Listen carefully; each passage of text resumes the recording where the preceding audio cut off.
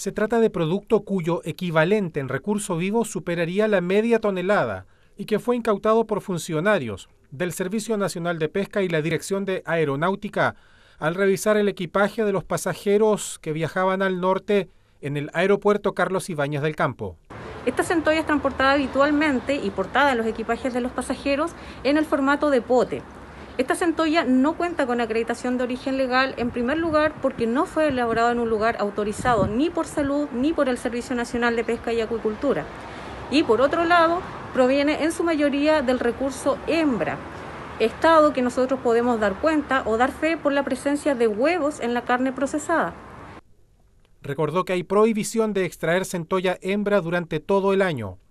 El recurso fue detectado en distintas revisiones durante este fin de semana. Fueron 87 potes de centolla, 6 conservas del mismo producto y 4 potes de ostión. En caso de llevar centolla al norte del país, los viajeros deben portar los documentos que permitan acreditar su origen legal.